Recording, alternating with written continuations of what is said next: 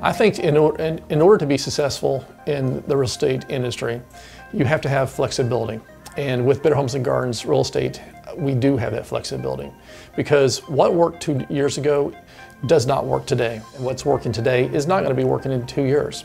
So having that flexibility is critical.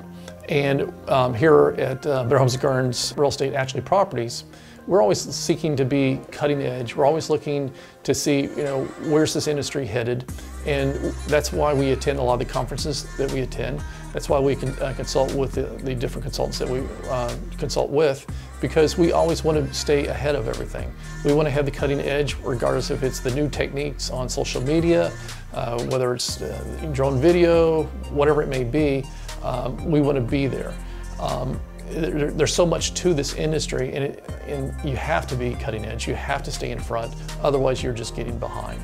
And so what we bring to the table is not only to our agents, but to the buyers and sellers is the latest and greatest. They, anyone that works with us, whether it's a buyer, seller, or an agent, they can rest assured that they're gonna be provided the best tools in the industry, second to none because we're always there. We're always learning. We, we never get comfortable with where we are. We're always moving forward, trying to you know see what, what's working best.